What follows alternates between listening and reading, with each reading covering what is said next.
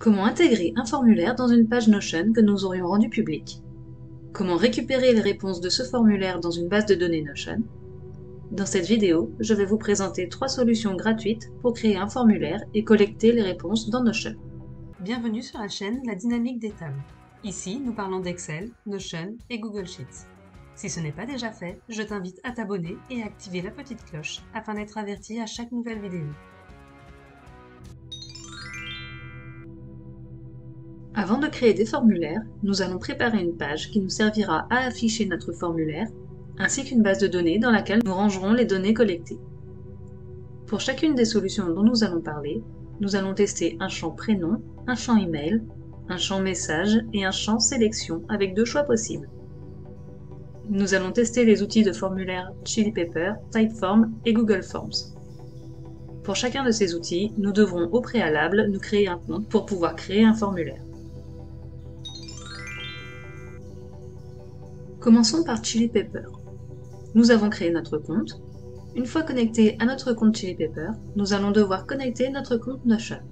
Nous nous rendons dans Settings, puis Ajouter un compte Notion. Nous allons utiliser l'API. Nous sélectionnons donc Utiliser l'API officielle. Nous allons maintenant nous rendre dans Notion pour aller chercher notre token. Nous ouvrons la fenêtre de paramètres Settings and Members puis nous nous rendons dans l'onglet Intégration. Nous cliquons sur le lien Développer sa propre intégration. Une fenêtre s'ouvre dans notre navigateur. Nous allons choisir le type interne, puis nous cliquons sur le plus pour créer une nouvelle intégration. Nous lui choisissons un nom. Le champ Image est facultatif. Puis nous choisissons l'espace Notion à associer. Nous validons et revenons dans Notion notre lien d'intégration a été créé. En cliquant sur les trois petits points à droite, nous pouvons copier notre lien. Nous revenons à Chili Pepper, copions le token dans le champ prévu à cet effet, puis sauvegardons. L'étape suivante consiste à créer notre formulaire. Nous nous rendons dans la page Forme, puis cliquons sur Nouveau formulaire. Nous commençons par créer nos champs. Pour rappel, dans Chili Pepper, nous sommes limités à 6 champs par formulaire. Nous créons donc un premier champ email, un second texte, un troisième au format select et un dernier au format long. Pour chaque champ, nous pouvons choisir un nom, un titre et une valeur par défaut. Nous choisissons le texte et la couleur de notre bouton. Nous cliquons sur Suivant.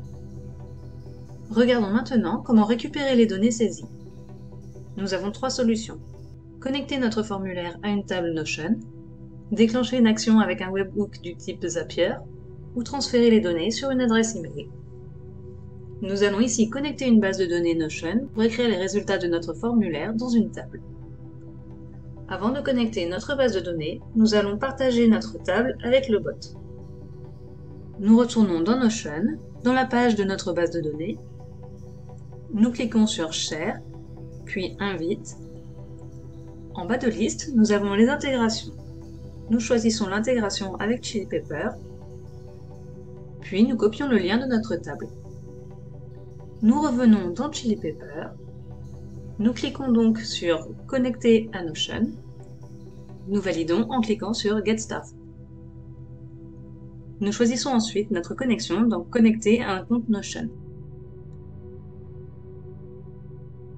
Puis nous collons le lien de la table que nous avons copié précédemment.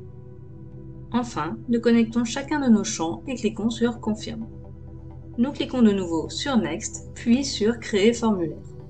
Nous obtenons un lien que nous collons dans une page Notion.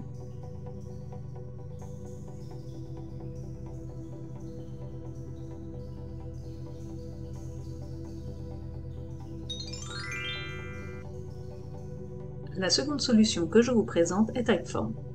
Nous nous connectons à notre compte nous allons créer un questionnaire. New Type Form. From scratch. Nous créons le questionnaire.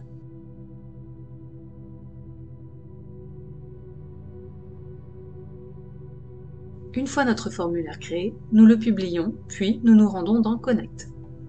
Dans la ligne Notion, nous cliquons de nouveau sur Connect. Nous authentifions notre compte Typeform, puis notre compte Notion nous connectons nos champs.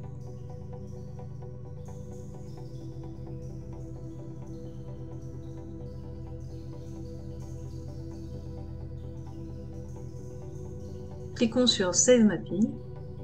Dans l'onglet Share, nous pouvons copier le lien. Nous revenons sur notre espace Notion, puis collons le lien Typeform dans notre page.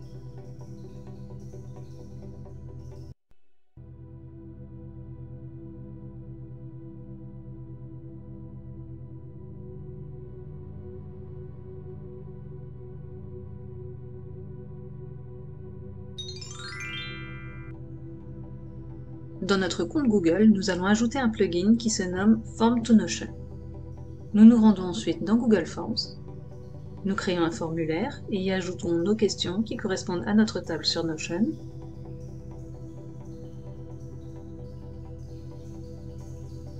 Nous cliquons sur l'icône Add-on Form to Notion, puis Connect to Notion. Une seconde fois, nous cliquons sur Connect to Notion, puis connectons notre espace Notion. Nous choisissons la table alliée, nous validons en cliquant sur Hello Access. Nous connectons nos champs, puis cliquons sur Save. Le message Connection Saved doit apparaître en vert au niveau de la boîte de dialogue. Nous allons cliquer de nouveau sur le menu Form to Notion, puis encore une fois sur Form to Notion. Cette fois-ci, nous allons choisir Embed in Notion. Nous copions le lien, puis nous collons notre formulaire dans notre page Notion. Notre formulaire est maintenant opérationnel.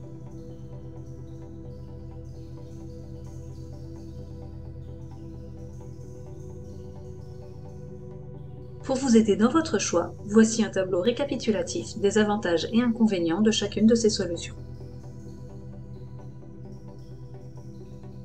Cette vidéo est maintenant terminée. Je t'invite à m'écrire en commentaire la solution de formulaire que tu utilises ou comptes utiliser avec Notion.